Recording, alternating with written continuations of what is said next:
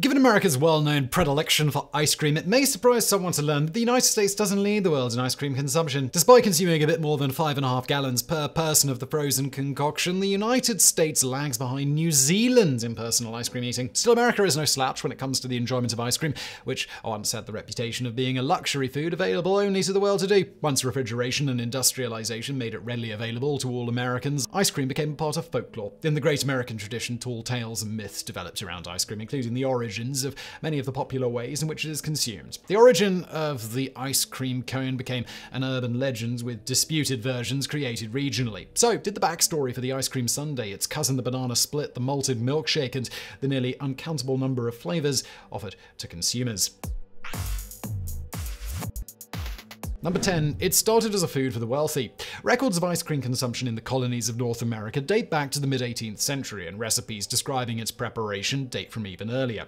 Although there are records of indigenous peoples enjoying snow and ice shavings flavored by various means, the combination of cream, sugar, and flavorings blended to near frozen consistency, ice cream arrived with the Europeans. For nearly a century, the dish remained known only to the well to do. It was expensive. Sugar was a luxury for most Americans of the day. Ice, though ubiquitous, ubiquitous in winter, was expensive in the warm months. Thomas Jefferson is sometimes wrongly credited with introducing ice cream to America, having encountered it in France. Jefferson was undoubtedly fond of ice cream, as were many of his fellow Virginians. During the early years of the new government under the Constitution, much of America's wealth centered in and around Philadelphia. Wealthy Americans favored ice cream as dessert at formal meals, and those few who could afford to emulate their betters ordered ice creams from confectioners in Philadelphia, Baltimore, and other large cities. Less well off Americans, unable to afford sugar and ice in large quantities, found the concoction to be a rare treat. Ice creams began to appear in American cookbooks and recipe collections in the late 18th and early 19th century, as well as descriptions of the equipment needed to make it in quantity. Jefferson served ice creams in what was then known as the President's House, the White House, including a concoction in which frozen ice cream was served in a baked crust. So, although the third president helped popularize the dish, it remained primarily a treat for those who could afford it, rather than a food for the common man. Number 9. Philadelphia became the ice cream capital of the United States in the early 19th century. Philadelphia served as the capital of the young United States from 1790 to 1800, a time when it also represented the largest urban area of the new nation. Though the capital moved to Washington City in 1800, Philadelphia continued to thrive as a commercial and financial center. Small entrepreneurs who established businesses, tailors, dressmakers, bootmakers, cobblers, stationers, and most important for the discussion here, confectioners, made Philadelphia a booming area of commerce in the early 19th century. One such entrepreneur was Augustus Jackson, who had once served, according to some sources, as the White House's chef. Sources describing Jackson and his contribution to ice cream in America are questionable at best. One source describing Jackson also claims George Washington brought ice cream pot freezers to Mount Vernon, souvenirs of a trip to France. Unfortunately, Washington never visited France, though he did have a documented taste for ice cream. Augustus Jackson never applied for any patents involving the manufacture of ice cream. None of the many recipes attributed to him survive, and the locations of his ice cream manufactories are disputed. Nevertheless, he is credited by some as being the father of ice cream. Whether Jackson contributed significantly or he was just an American myth, ice cream manufacturing and consumption grew rapidly in the antebellum era in Philadelphia. As America's largest city, it harbored a steadily growing confectioner's industry. As a major port, its wharves and warehouses teemed with exotic flavors, as well as the produce of inland farms and sugar from the Caribbean Isles. Without refrigeration for long periods, ice cream was made to order and consumed in parlors, coffee shops, tea rooms, and in private homes. By the 1840s, it was shipped, packed in ice and sawdust to cities and towns on inland waterways and the post roads. Number 8. The first American commercial ice cream factory opened in 1851. Commercial manufacture of ice cream, that is, not made to order by customers, began in 1851 when an enterprising Quaker milkman recognized an opportunity.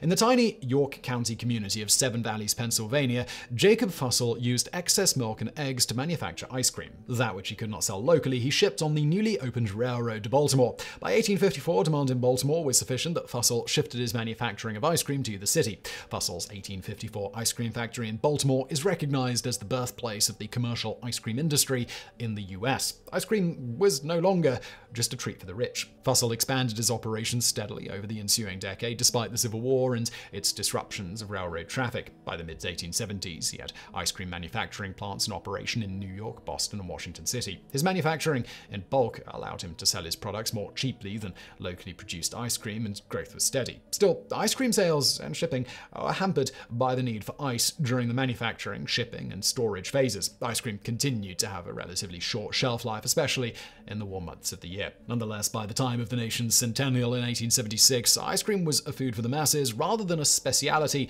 known only to the wealthy. Locally based dairies and confectioners merged to form regional ice cream manufacturing interests. Ice cream was sold in bakeries and shops, dairies and drugstores, as well as in general stores and from specialty vendors in large cities and small towns. In the aftermath of the Civil War, it surged in popularity, coupled with other mass produced products designed for conspicuous consumption.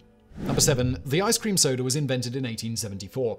Following the American Civil War, pharmacists and chemists found a new demand for carbonated beverages. Marketed as tonics to aid digestion and help alleviate vapors and other euphemisms for feminine complaints, they included such concoctions as Coca Cola, root beer, and ginger ales, and just plain carbonated water. Since pharmacies were often the local source for ice cream, it was inevitable that sodas and ice cream would somehow meet in a glass. And in a typically American manner, scores of stories emerged over the years describing how the earth shaking event transpired. All are exaggerations, though some may have a slight relationship with the truth. Among the most popular tales of the birth of the ice cream soda is the fortuitous discovery of the beverage during the 1874 Franklin Institute celebration in Philadelphia. In that version, Robert McKay Green, a vendor of carbonated beverages, supplemented his dwindling supply of ice to cool his drinks by substituting ice cream. Such events are a part of American ice cream lore, a combination combination of Yankee ingenuity, divine inspiration, and stunning success. They also are mostly fake. Green later admitted to experimenting with various soda ice cream combinations well in advance of the fair, which explains why he had price lists and flavor combinations available as needed. Many other tales describe the invention of the ice cream soda, and Green was conscious enough of the conflicting claims to insist that his gravestone include the inscription originator of the ice cream soda. The beverage gave birth to two American icons, the soda fountain, which became a fixture in towns across America, and the soda jerk, a piece of Americana which lasted well into the 1950s. Number 6. Blue laws led to the name Sunday for ice cream with toppings. In the late 19th century, several drives gained momentum across the United States, united only by their determination to ensure that Americans weren't having fun. Fundamentalists were aghast at the rampant sin flagrantly displayed everywhere in Nickelodeons and movie houses, on vaudeville stages, and of course in saloons and houses of ill repute.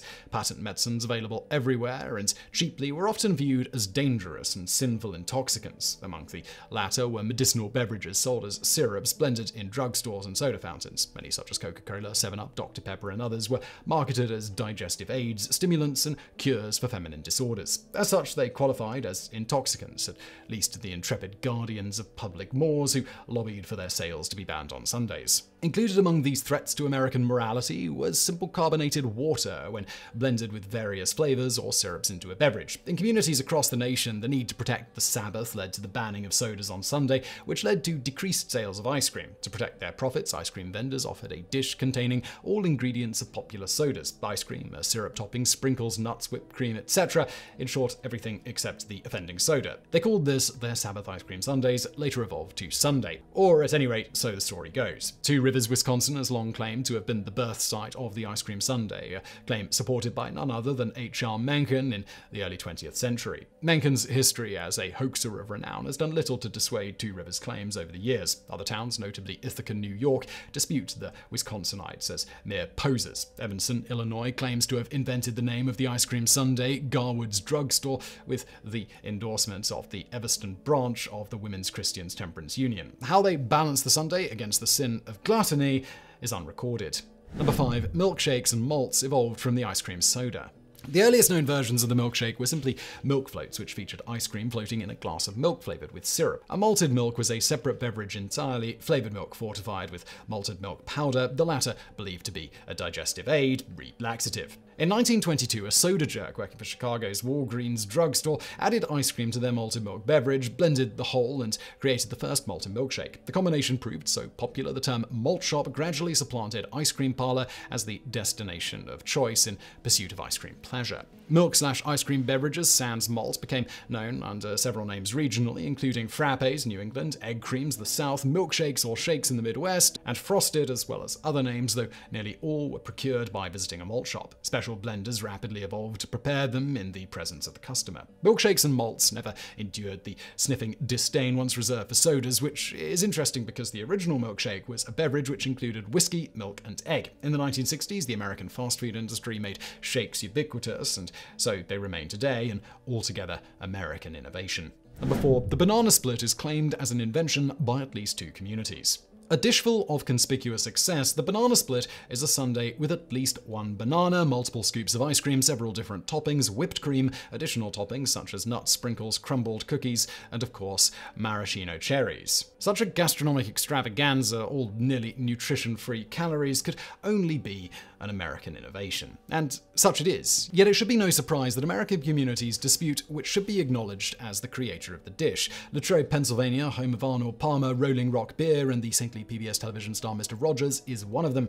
Latrobe claims a local pharmacy clerk by the name of Doc Strickler invented the banana split in 1904 while working at Tassel's Pharmacy. Supporters of the claim cite ample proof, including the existence of receipts for dishes designed to accommodate the unusual dimensions of the sundae, though actual sightings of the receipts are unrecorded. Latrobe's defense of its claims is chiefly aimed at Wilmington, Ohio, a small college town which claims to have been the first to split the banana in 1907. Their version of the tale has local entrepreneur Ernest R. Hazard inventing the banana split, some say as part of a competition to attract more students from Wilmington College to enjoy his wares. Both communities sponsor annual festivals dedicated to the banana split and to denigrating the claims of the usurper, uh, whichever that may be. There are other pretenders to the throne as well. Chicago, Walgreens, Boston, Butler Department Store, Columbus, Ohio, Davenport, Iowa, and even New Orleans claim to be the birthplace of the banana split. But the main dispute seems to be between Latrobe and Wilmington. At least they agree that to be a banana split, the fruit must be split lengthways with scoops of ice cream nestled between the halves. If the banana is sliced crossways, the result is no banana split, but rather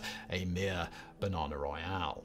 Number 3. The ice cream cone became popular in the early 20th century. Probably the most famous of the legends surrounding the advent of the ice cream cone is that of the comestible being created during the St. Louis Exposition in 1904. Allegedly, an ice cream vendor short of glassware gained the cooperation of a waffle vendor short of customers, and the ice cream cone was born, another example of Yankee ingenuity resolving a crisis to the benefit of all. A similar story exists regarding the creation of the hot dog bun. Both are untrue, but both seem to be too good in the retelling to let die. In reality, edible containers for ice cream were on on hand as planned for the St. Louis Exposition, and although not particularly well known, they were nothing new. Recipes for edible containers for ice cream existed in French cookbooks in the mid 19th century, where they were called cornets. Ice cream eaten on baked trays similar to cookies was known to Jefferson during his presidency. In fact, a patent for an ice cream cone was issued to one Italo Marchiony in 1903 in New York City. Another predecessor to the ice cream cone was the Hokey Pokey, another Italian innovation in which cornstarch and sugar were blended with water and then frozen.